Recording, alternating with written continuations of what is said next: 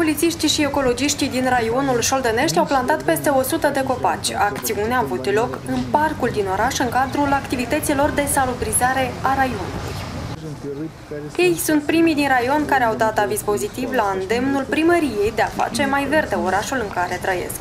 Pentru câteva ore, oamenii legii și inspectorii de la ecologie au uitat de obligațiunile lor de serviciu și s-au înarmat cu hârlețe facem curățenia parcului. Deci la solicitarea primăriei la astăzi este poliția raionului și ecologie. La apelul nostru ei sunt primii care au reacționat. Sper că toți ceilalți o să reacționeze treptat și o să aducem în ordine.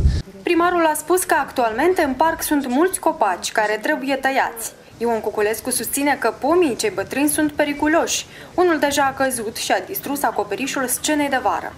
Care sunt următoarele acțiuni? Acum faceți în parc, uh, sădiți acești copaci. Mai departe ce urmează? Întâlnirea cu toți agenții economici, fiecare amenajare în fața lor și sper că chiar și cu poliția municipală vom uh, verifica și vom face un control. Este la ultima ședință de Consiliu și un concurs uh, cei mai amenajate instituții.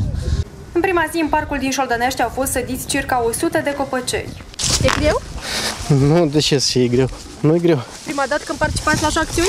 Nu, am mai participat mai mulți ani. De câte ori, practic, s-a sădit cu pășei, s-a participat. Și câți copaci ați sădit? Azi, câți copaci ați sădit? Astăzi, vreo trei. Eu, dar cu băieții împreună, mai mulți. La activitatea de înverzire a localității au participat și câțiva studenți de la Colegiul de Ecologie din capitală, care fac practica la Șoldănești. Ce faci aici la Șoldănești? Aici facem practica de bani, să dăm niște copaci. Și cum îți pare? Foarte bine. E greu? Nu, e destul de normal. Ai mai făcut asta? Da, da, desigur.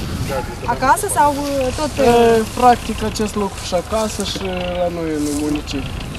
Conform decretului președintelui Republicii, campania de un arbore pentru dănuirea noastră se declanșează numai în toamnă, dar în campania de primăvară, toate administrațiile locale, conform deciziilor consiliilor, la inițiativa dumnealor, plantează. Nu avem un număr anumit de arbori care să fie plantat ca cum în campania de salubrizare de toamnă.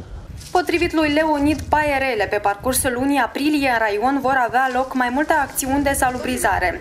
La final va fi desemnată cea mai salubră localitate și cea mai salubră instituție din oraș.